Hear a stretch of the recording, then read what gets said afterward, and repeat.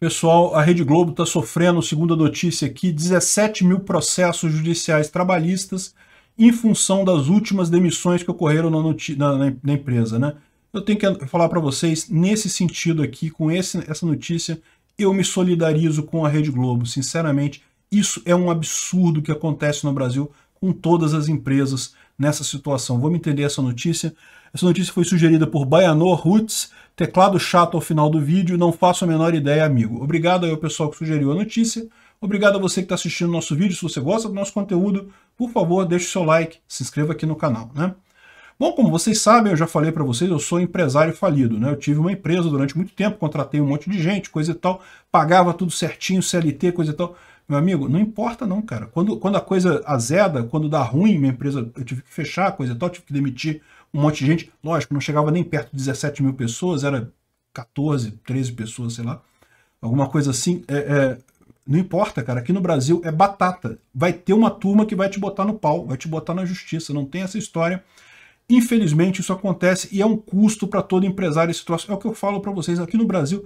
Hoje em dia, eu, jurei para mim, eu nunca mais vou contratar ninguém CLT. Hoje em dia eu já precisava de uma secretária. Eu vejo isso hoje, eu deveria contratar alguém para cuidar da minha lista de telefones, para fazer contato com o pessoal, eu precisava disso. Mas não, eu tenho uma promessa minha, eu jamais na minha vida eu irei contratar alguém no Brasil. Talvez no futuro, se eu me mudar daqui for para El Salvador, for para os Estados Unidos, talvez eu contrate pessoas lá. Aqui no Brasil é proibido contratar. A CLT proíbe você de contratar pessoas. Só maluco assina carteira aqui no Brasil, porque é o que eu estou falando. Você paga tudo direitinho, você paga, faz tudo certo de acordo com a lei. Meu amigo, não importa, você vai se fuder na justiça trabalhista depois, vai ter coisa contra você, não importa o quanto certo você seja como patrão. E o pior, é, é, e o pessoal ainda fica assim, não, que bom que a Globo vai se fuder, não, não caramba, olha o erro disso, cara, olha o absurdo que é isso. Não, eu, eu, também não gosto do posicionamento político da Globo, não, acho que ela tá esquerdando pra caramba, tá falando merda pra cacete, acho um absurdo, mas, cara, é um empreendimento, tem um monte de gente que ainda depende da Globo, é um negócio que, poxa, é uma empresa que é, é, alavancou a cultura no Brasil, não tenha dúvida, tem uma importância enorme para a cultura brasileira.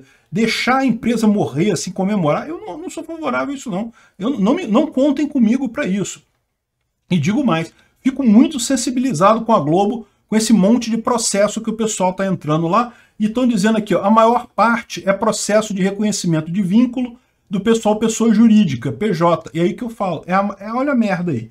Eu trabalhei minha vida toda como PJ para outras empresas. Eu nunca iria entrar na justiça contra a empresa exigindo reconhecimento. Afinal, eu aceitei aquela condição. Eu fui ali, eu botei minha assinatura ali. Quando eu falo alguma coisa, eu estou falando de verdade. Eu, eu, eu, me comprometi. Eu sei que aquilo ali não é o melhor mundo possível. Todo contrato é comprometimento, é um meio termo entre duas partes que ajuda todo mundo. Aqui não, aqui no Brasil tem essa ideia de que não. Ah, foi demitido, vou botar meu patrão no pau, vou fuder geral o máximo possível, né? E daí fica com esse negócio, o cara aceitou pessoa jurídica porque era interesse dele, porque ele pagava menos imposto, porque era melhor para todo mundo, não sei o que lá, aí mas depois vai na, vai na justiça tentar cobrar a grana, coisa e tal. Aí o que, que acaba acontecendo? O que acaba acontecendo é que cada vez menos você tem diferença de preço entre a pessoa jurídica e a CLT. Por quê?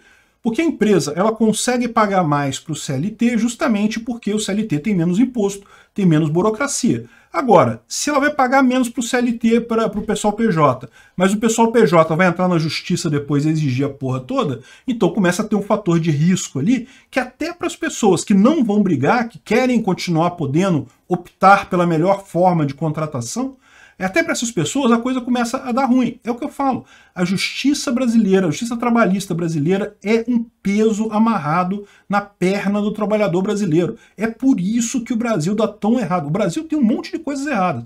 Estatismo é uma coisa errada por natureza. Mas se tem um culpado do Brasil tá tão na merda quanto tá, é a justiça trabalhista, é essa ideia de trabalhismo do Vargas, essa coisa de CLT isso é que afunda o Brasil. E o pior, como eu falo, não é uma coisa imposta pelo governo, porque muita gente acha lindo, acha que não, é mesmo, tem que botar o patrão no pau, é isso daí, não, a vantagem é melhor, quanto mais vantagem para você, melhor.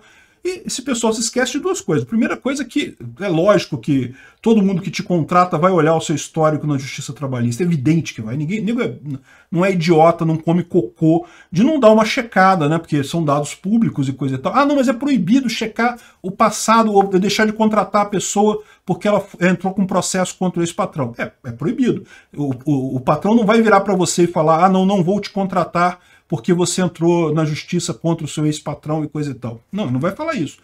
Mas ele vai olhar lá para o negócio, vai, vai, puxar sua ficha lá no TRT, vai ver 14 ações contra ex-patrões e coisa e tal. Meu amigo, é, infelizmente a gente já preencheu a vaga, muito obrigado, é, é, sua qualificação tá boa, mas a gente já preencheu a vaga com outra pessoa, um grande abraço, até a próxima. É isso que eles vão fazer, não tem jeito. É evidente que o patrão vai olhar esse tipo de coisa, essa informação é pública e você consegue olhar assim. E mais do que isso, porque tem um pessoal, assim, é, tem um pessoal médio que entra na justiça contra por qualquer coisinha contra esse patrão e tem gente profissional, tá? Não tenha dúvida, tem gente que é profissional nisso, que faz de forma seriada. O cara entra na empresa, trabalha um mês para poder dizer alguma coisa e já entra na justiça. O cara só quer a justiça. Esse pessoal, os patrões têm, evidentemente, listazinhas para fazer isso daí, para saber esse pessoal, porque, pô, é, são estelionatários no final das contas, né? E veja, eu não estou dizendo que se, ah, não, então eu não vou nunca entrar nas, com ação contra o meu ex-patrão. Não. Se o seu ex-patrão te sacaneou, se ele realmente fez alguma coisa errada, ele né, não pagou alguma coisa que devia, ele, eu acho que você tem que entrar na justiça mesmo.